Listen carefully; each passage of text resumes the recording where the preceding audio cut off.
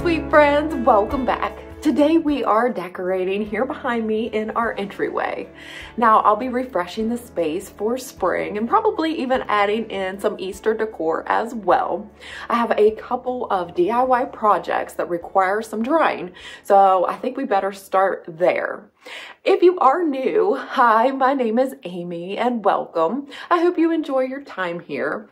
I am currently in my spring decorating series, and that's where I bring you inside our home from room to room as I redecorate and refresh the space according to the season. I also love to bring you along as I shop for home decor, and I love sharing my hauls. So if that sounds like something that you would enjoy watching, I would love if you would consider subscribing before you go. Now, if you do enjoy today's video and you find it helpful, I would appreciate a big thumbs up. All right, well, I'll go ahead and turn you around and show you the space and all the areas that we'll be decorating today, and then we'll get started on those DIY projects. Right next to our front door, we have this space that is just big enough to fit a small cabinet. I found this one from Amazon. I love having the extra space for storage. This can be used for shoe storage, but I keep a lot of my little decor pieces in it. Above the cabinet, I hung a round mirror that has the most beautiful gold frame. A mirror is a must in my opinion, especially in a smaller space, so that it reflects the light and helps to create a larger looking space. Plus, having it right next to the front door, you can quickly check yourself before heading out or greeting visitors. Also, fairly new to this space is this table lamp. Its beautiful high gloss dark green color is perfect for bringing in a moodier look, which I am all about right now. It features a white empire shade for a beautiful crisp look. Having lots of different lighting options within the entryway helps to create a welcoming space where you can easily relax. Another way to add a welcoming feel is to add some softness with a runner. This vintage style Loloi runner brings in those rich moody colors and not to mention it hides dirt. It also matches the ones that I have in our kitchen and I think that repeating the same rug in a small area like we have helps connect the two spaces and makes it feel more cohesive. Our entryway is pretty much a hallway that connects three of our main rooms our dining room, kitchen, and living room. So, straight ahead from the front door to the right, on the wall next to our coat closet, we have a row of books that I love to decorate. I will keep these beautiful bird prints that came from Hobby Lobby. I love that they bring in that sense of spring and that they have perfect sayings on them for the entryway. Happy here and stay a while. Swinging over to the opposite side along our staircase wall and in front of our board and batten, we have this console table that I'm excited to completely restyle for spring. Above the console table, we have additional lighting with these two sconces. Since we didn't have electricity on this wall for the lighting, we instead opted to just hang them and install puck lights on a remote, which work perfectly. Now, I'll quickly explain this DIY block hanger that we use to hang artwork against our board and batten. Now, because of this wooden piece or lip, our artwork before was very difficult to level. My hubby's genius solution was to cut a block the same depth as that overhang, which allows it to hang plumb. I secured it to the wall with a couple of Velcro command strips, added a screw at the top so that when I hang the artwork with a picture wire, it is a nice and secure. And then I also went ahead and painted it the same color as our walls so that it would disappear if you would view it from the side. First things first, we need to start on the wall art. So here is the canvas rolled print that I got from Amazon. And so my idea is to take this project board. The print is 24 by 36 inches, so I think I'll just have to cut these edges off and it will be the perfect size to be the backing for this canvas. Now I'm gonna move these coupons here. And oh, by the way, Kohl's has a new furniture and home decor line. If you would like for us to take a trip there and be interested in that, I will definitely do that. But I'm going to move these out of the way and get started. So I will be using this Mod Podge. Now it is in the matte finish and a paintbrush to apply it to this part of the cardboard or the project board and then we will smooth the canvas out on this and then to create a more authentic looking oil painting we'll also be using some of the Mod Podge on it to give it some brush strokes, which will be really pretty. I've did this in the past, so I wanna create that same look here. So we gotta get this all finished so that it has time to dry and then we can hang it later on in the afternoon. I can feel there is somebody here and he's watching over me tonight as he takes away my fears Lets me know there's a heaven up there. Yeah, he's reaching out his hand to me to wash away my tears. Oh, oh I know you and I praise you. Got my arms open for your love I want to be near you. I hear angels from up above. They sing hallelujah. Next is the fun part where you get to pretend to be a natural Da Vinci and put brush strokes all over your printed canvas art. Now, you really can't go wrong. You're just creating different brush strokes, much like what you would see in an oil painting. For my landscape wall art, I wanted to create more texture within the trees towards the bottom, so I did more of a stomping technique and used more glue. As I moved up towards the skyline, I wanted it to look more sweeping and linear, so I created X-like strokes for a less textured look.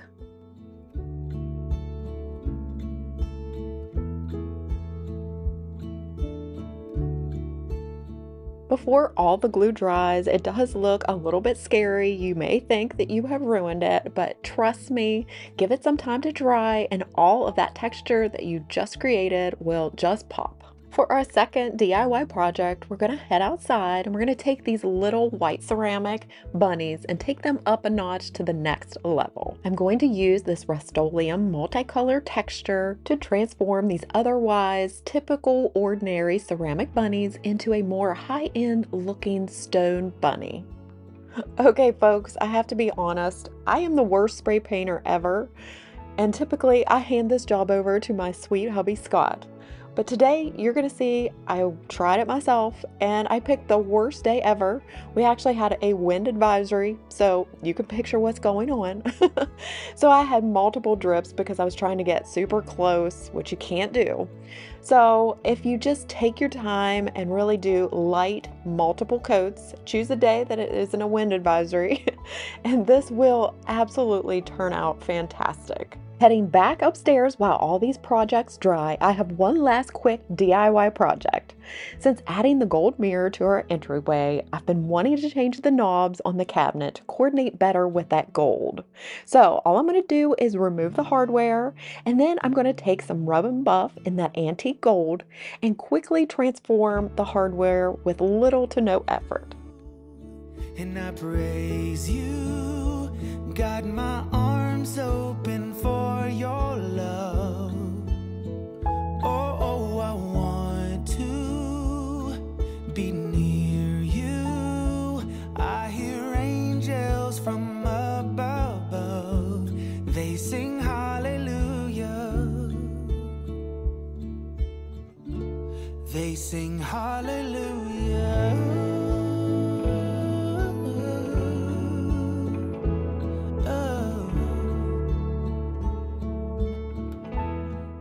I can't believe what a difference this made. Don't underestimate the little details. I think they can really pull a room together. I really love just this little minor change. Since we're right here at the cabinet, let's go ahead and decorate the top of it for spring. Now, since we are just a week away from Easter, I'm going to go ahead and add this He is Risen plaque to fill in the space just beneath the mirror and to balance the large lamp. Next, I'm coming in with this coffee table book titled Arranging Things. Then, nestled between the plaque and the lamp, I'm placing a small pot of greenery. I just can't resist adding a bit of green within the vignette, especially during the spring. To the top of the coffee table book, I'm adding this dark brown handled bowl that I found from the store at home. And then to add just a touch more of spring, I'll add a few speckled eggs to complete the look.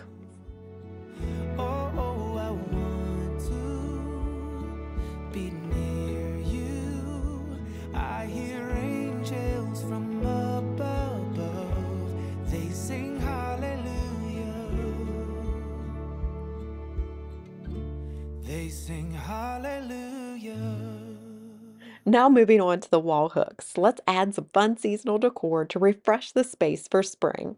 First, I'm hanging this gold frame floral piece that came from Hobby Lobby. Next to it, I'm coming in with this wall basket. Now I did add a few shopping bags to fill the bottom. On the third hook, I'm adding this brass watering can. And lastly, I'm going to add this garden trowel that I picked up from Hobby Lobby. I love its wooden handle, and these items are not only pretty, but they're also functional, especially when the weather warms up and I can get out there and start watering and planting flowers. Now to the wall basket, I'm going to add one of my favorite florals for springtime, and that is these beautiful cosmos.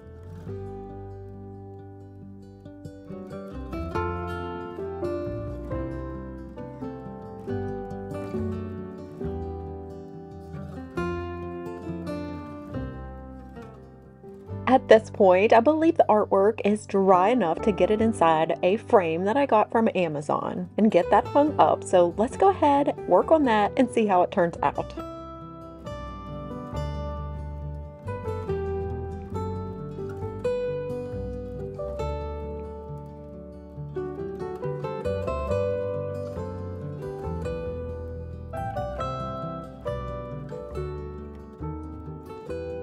So here are the little rabbits. Now, if you remember, they were just white ceramic ones that you can get from the Target Dollar Spot. You can get them from, I mean, pretty much anywhere. But Scott's my spray painting man. And like I said, I was having to get pretty close in order to get the spray even on it. So there is some really bad like boo-boos here on this one. I may try to spray him on another day and, you know, just do better. but this one actually turned out really nice and I love the look. So my tips are definitely do light coats and do several instead of one big coat so that you don't have any runs and places where it's not going to stick. But I really love the look. I think it makes them look super high end and really unique. So I love that. Now coming over here, I absolutely love the brush strokes on this canvas print. But another boo-boo, I was trying to hurry and trying to get this done all at once. And so as you can see up here, I have a bubble that the canvas is not attached to the cardboard behind. I'm going to keep it as is today, but I may try to peel that up and Mod Podge it back down. So tip, Make sure to kind of do this maybe in two days. Glue the canvas down to the cardboard, even lay down some books on the end to keep it nice and pushed down and weighted because I noticed it wanted to curl as well. I know a smaller artwork piece would probably work a lot better. This is pretty large, you know, it's 36 by 24. So that, I'm real sad about that. But, you know, maybe I can figure out a way that I don't have to peel it all back. But I mean, it won't be that bad if I do have to peel that back. I do love all the texture, though, that the paint gave to this. So this is a lot more sturdy than the other way that I did it. And so I I'm planning to do this in the dining room as well. So stay tuned for that. But I love this print. It just is so calm. It reminds me of all the hills here in West Virginia. So I'm going to go ahead and hang this up and deal with that a little bit later. But that's my tips for you. All right, so let's go ahead, grab this, and get it on the wall. To style one side of the console table. If you remember, I'm bringing back in this gorgeous vessel that I picked up from Home Goods and shared with you in a decor haul. Now inside it, I'm going to add three stems of this specific greenery that matches the smaller one that I placed on the cabinet next to the front door. I'm just going to add them to the vessel and let them just kind of drape naturally for a beautiful organic element. Next to the vessel, I'm adding this round wooden riser, and the wood coordinates really nicely with the frame. Then I'm going to add a few sprigs of the green baby's breath, kind of just laying it very casually on top. And then nestled within this greenery, I'm going to place both of my DIY faux stone bunny rabbits.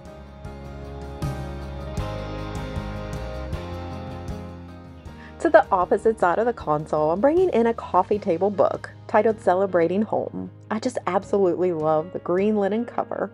And atop it, I'll then bring in a gold candelabra, and for a bit of texture, this sweet little basket that was a Goodwill find.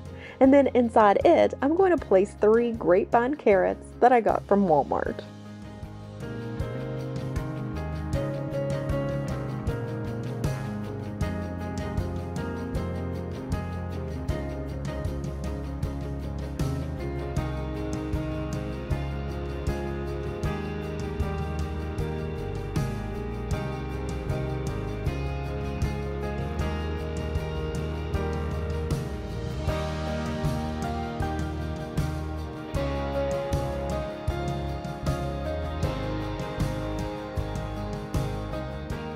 Moving along to the bottom shelf, I'm going to grab one of my favorite antique finds, which are these two large jugs. Can you believe I was able to score both of these for just $25? So I think that was a total score. Now to create a small grouping of three, I'm going to add this jumping bunny that was another cute Easter find from Walmart.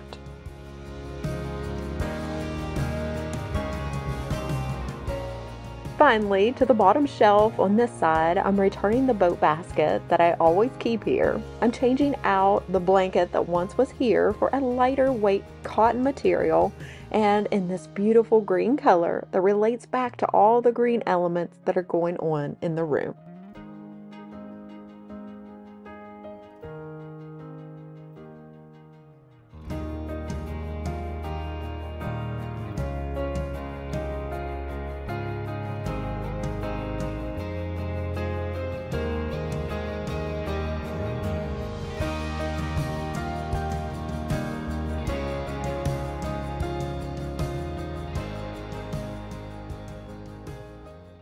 All right, sweet friends, that pretty much wraps up today's video. I hope that you enjoyed it and maybe got some new ideas for doing some DIYs or refreshing your spaces for spring. I also loved adding just a little bit of Easter decor since it is just around the corner. Well, I hope that you did enjoy it. If you did, I'd appreciate a big thumbs up. And if you haven't already and you've liked what you saw today, I hope you'll consider subscribing. Now, as we end our time together, I always love to share with you a daily Bible verse. So today I'm going to be reading from Psalm 108 verses 3 through 5. I will praise you, O Lord, among the nations. I will sing of you among the peoples. For great is your love, higher than the heavens. Your faithfulness reaches to the skies. Be exalted, O God, above the heavens, and let your glory be over all the earth. I thank you so much for joining me today. I hope to see you back next time for more decorating for spring or maybe we'll even do some shopping. I'd really like to check out Kohl's, so definitely let me know if that would interest you down below. Well, I hope you have a fantastic rest of your week and I will see you back real soon. Take care and God bless, friends. Bye.